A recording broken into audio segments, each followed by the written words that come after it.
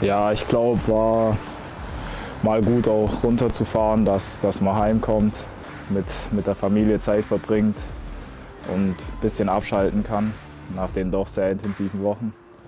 Und, aber umso mehr, glaube ich, hat sich jeder wieder gefreut, dass es jetzt wieder losgeht.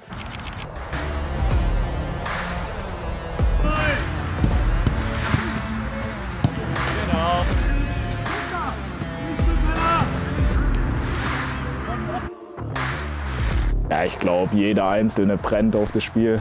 Das ist ähm, ein Top-Spiel, ausverkauft und ich glaube, da muss man keinen großartig motivieren. Und das merkt man auch jetzt heute im Training, da ist sehr viel Feuer drin, Intensität und merkt man, dass, dass sich jeder freut.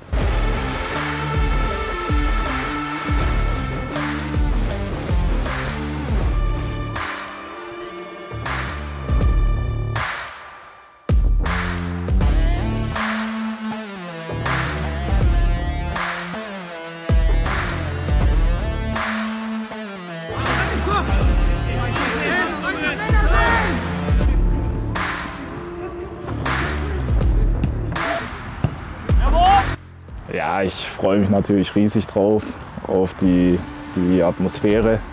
Ich glaube, jeder, für jeden ist wie gesagt was Besonderes, vor so vielen Zuschauern zu spielen. Und ähm, ja, wie gesagt, es brennt jeder drauf und ja, kann es gar nicht abwarten.